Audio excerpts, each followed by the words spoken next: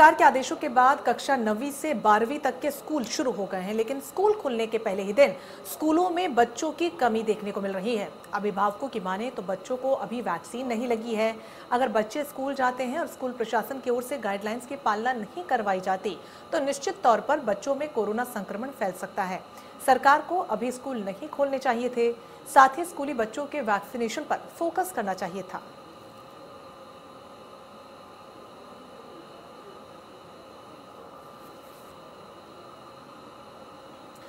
corona का